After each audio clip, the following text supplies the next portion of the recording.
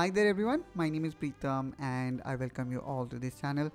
Today in this video, we will talk about a free 2D CAD software that you can utilize not only for personal use but even for professional use without worrying about license. You can create 2D layouts, drawings and many more. So without further ado, let's get started. Okay, the first thing that I'm gonna do here is I'm gonna click here on Windows and then I'm gonna type EDGE and then here I will type LibreCAD. Yes, you heard it right. Just like LibreOffice, we also have LibreCAD software available. So let me quickly click here and then we're going to open LibreCAD. And this is free open source 2D CAD software. And guess what? That allow us to create 2D parametric drawing similar to what we can do with AutoCAD. And you can also save your 2D drawing in AutoCAD format. Isn't it cool guys? Now before we further dive in, if you haven't subscribed to this channel yet, consider subscribing to this channel as we keep on bringing up video related to engineering topics. So if you have similar interests, then please consider subscribing to this channel for more such videos. Now let's jump back to our topic which is LibreCAD. So here I'm gonna click on this link which is librecad.org and not to worry guys I'm gonna provide the same link in the description of this video if you do not want to get lost here. So now what we're going to do is we're going to download this software and as I said this is open source so it is completely free and can be used not only for personal project but you can also utilize this for commercial use. However, in case of commercial use, maybe you will earn a lot and then you can upgrade to DraftSight, IronCAD or AutoCAD. Now let's go down and see what are the versions in which this software is available. So what are the platform that this software support? So here we can see this software support almost all major desktop operating system such as Macintosh, Windows and Linux since here I'm using Windows so let me actually download it from SourceForge instead of GitHub. So you just need to click here on this download latest version and then we need to wait for a while and then this download will begin. Meanwhile the software is getting downloaded.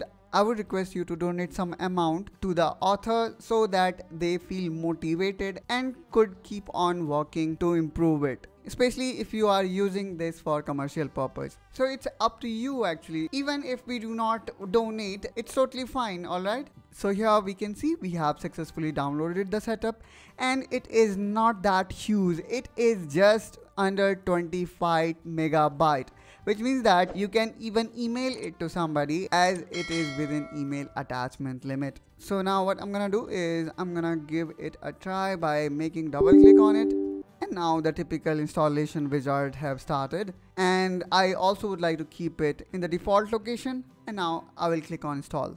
And there we go. We have successfully installed it. And it again have opened this donate page. And as we discussed before it's not necessary but welcome if somebody you know support this author. Now let me quickly again click on LibreCAD setup and close it. And now let's start this LibreCAD for the first time so let me press here menu button and I can see it in recently added. You can also write LibreCAD and in this way you can open it. Now here it's really nice to see the splash screen or open screen actually asking us initially that what is our default unit. So generally I prefer millimeter let's say you are working in civil domain maybe they will prefer centimeter or inches or any other unit. Similarly the unit of preference sometimes depend on the country you live in. For example if somebody is from us maybe they will choose inch as their default unit. But for me millimeter is a good one now here one can select their favorite language and here we can see we have got so many different language available. That is really nice guys. So here i'm gonna keep everything as it is as default and let me click on ok. And there we go. We have opened this software for the first time. And i believe it have got almost all basic tools covered. For sure not the all tools that is available in AutoCAD so just like AutoCAD, it have got all these basic sketching tool. And here we go. Here we have got this command line also available which you can I guess place it the way you want. So let's place it in the bottom that you can simply do by dragging it um, using left mouse button. I just place this command bar down. So here I can write the command for example line just like in AutoCAD and now again it is asking me same question which I feel pretty familiar as it is very similar to AutoCAD. So I need to provide my first point. So this time let me give it a Cartesian coordinate of 0x and 0y now let me hit enter. And now it is asking me to specify next point. So let me actually specify next point. For example um, 10 and then 10 so this is 10 10 and this time let me give it another point in polar coordinate system. So uh, let's move it 20 toward x and then at an angle of 30 degree. There we go. So this time let me provide it a polar coordinate. Let's say 20 and then angle. So let's give it an angle of um, 60 degree and there we go. Now this time let me provide it a polar coordinate system. So let me actually provide it as 25 in x and then 30 degree anti-clockwise.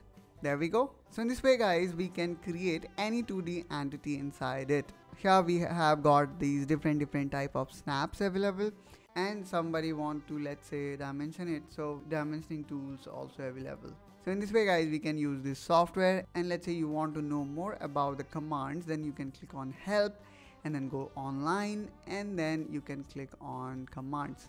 Mm, there we go. Here we can see each and every command that is available inside this software so this was a quick overview of this LibreCAD free open source software. Again, I'm repeating the same line that you can not only use for your personal project, but you can also use it commercially. And then you can also save this in a format of DXF, which can also be opened by AutoCAD.